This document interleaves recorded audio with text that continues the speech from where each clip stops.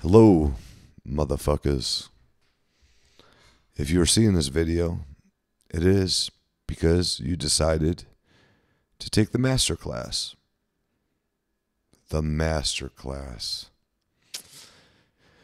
This master class is going to be an instead of it's going to be a set of instructions that we can um, we can build an amplifier at home or or the garage or wherever you want to. It'll be professionally built by you. You'll feel very proud at the end of the day. You will have a amplifier for one that well obviously it's only going to be built by you. So you're going to be the only one with it. Um, I would like to say this. There is nothing, nothing like something that you have created from your own, from your own beginning to end, uh, that you will cherish anymore in this world.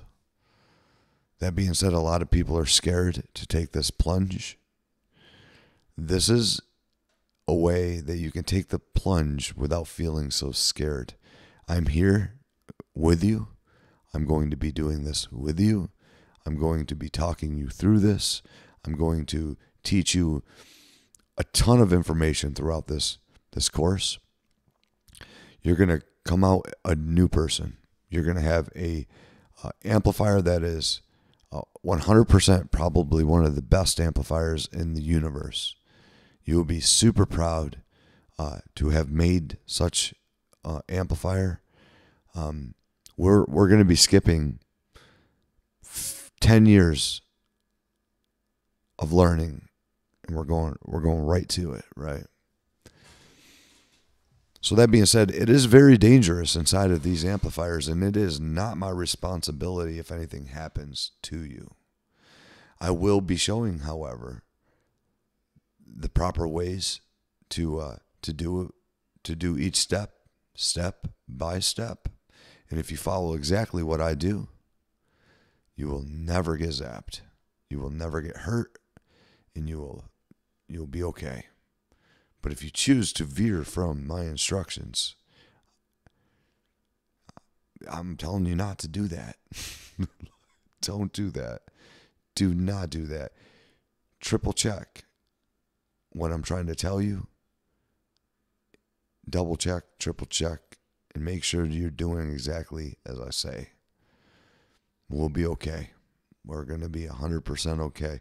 We're going to make the coolest thing in the universe a Hiwatt DR 103 heavily modified in reverse.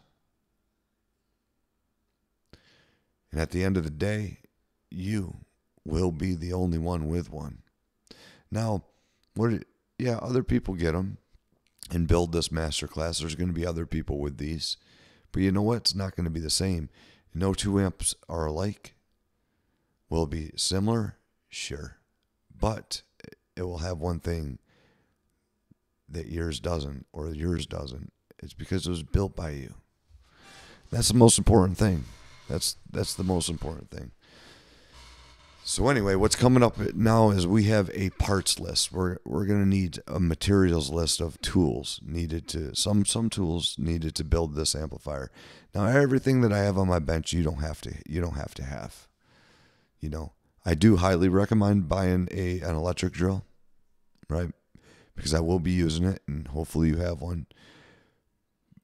But you know, the assortment of everything that I have, you just need the basics. You don't need a hundred screwdrivers like I have. You don't need a hundred different types of pliers that I have. You'd probably be fine with just one pair of pliers, uh, a flat head, a straight head, and some smaller ones, uh, jeweler ones, depending on the parts that you buy. Now, I am not going to be buying the parts for you. You will be going and buying these parts. I will show you how in a video uh, how to do so. But it is up to you to source these parts and to buy these parts. You will have a parts list and you can just type that part in and find out if you want to go expensive, if you want to go middle of the road, or you want to go cheap. It's up to you how to determine each each part and how to calculate the parts for your own build. And there in itself is going to make your amplifier different from all the other people's amplifiers. Even if 100 people built this amplifier, none of you are going to choose the same components. Again, we are doing it from scratch. And this is something that you will feel very proud of in a safe environment, in a safe way, from a person that knows Hiwatts probably better than anybody in the universe. Why'd I choose Hiwatt? Because I don't believe out of all the amps I've ever played, there's anything that, that comes close to the sound of a Hiwatt. You're not going to be getting um, the sound of a Hiwatt from from Mojotone. There's no way. Uh, there's no possible way. Mm-mm. So anyway, here is the the tools needed and good luck. Good luck and thank you from the bottom of my heart and be safe. I'm not responsible if anything happens to you. Please follow my instructions to a T. If you do, we're going to come out of this in the end being heroes. If you don't, I don't know what your amp will look like. I don't know what it will sound like.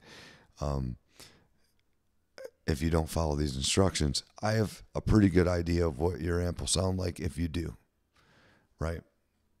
And if we have any issues after you put it all together, I'm here and I will technical shoot troubleshoot your amplifier for you. We will figure it out together. But you won't. We're going to be good. We're going to be okay. That being said, here we go.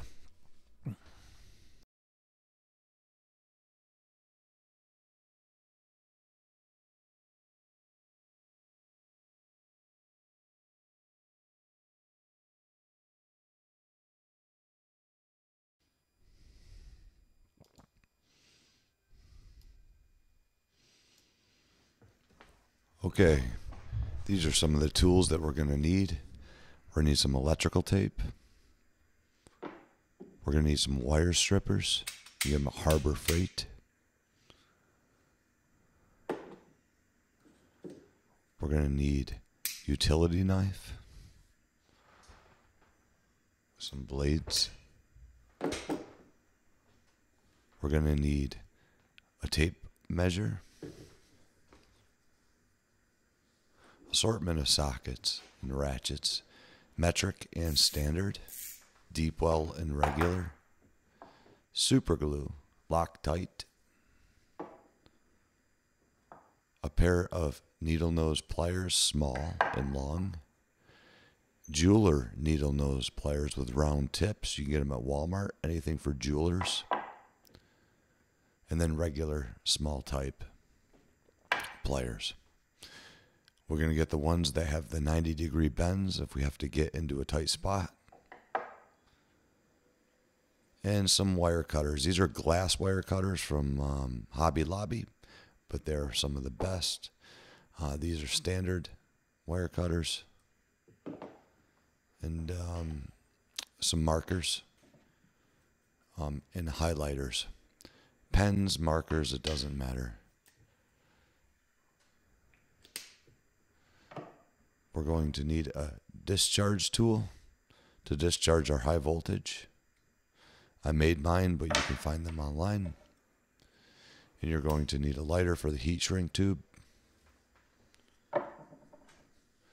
You're going to need safety glasses in case you have to drill anything. And a whole bunch of these little alligator clips. It's very important to have these to test our stages and if you really want to find, you get just get one of these uh, digital calipers for fine me- fine measurement. Phillips said screwdrivers.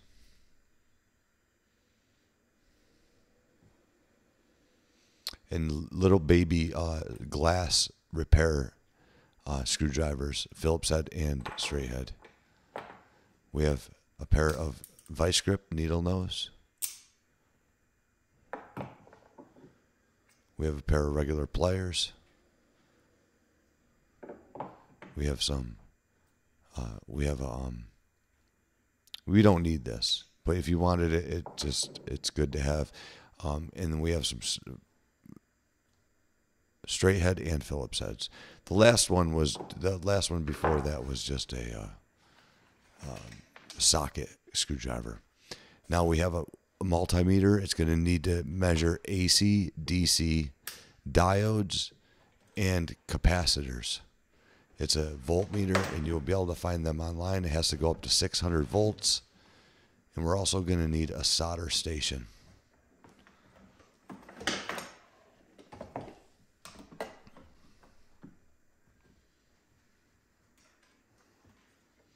And 30, uh, 30 thousandths solder. Doesn't matter if you get Kel- Kelser or leaded. I think this is uh, 40 60. So, and you may want to get a drill. You don't need the drill and some latex gloves as well. You don't really need the drill, but you know, uh, you, you may want it. It may help you in some guitar picks so that when you're ready to rock and roll, we're ready to rock and roll.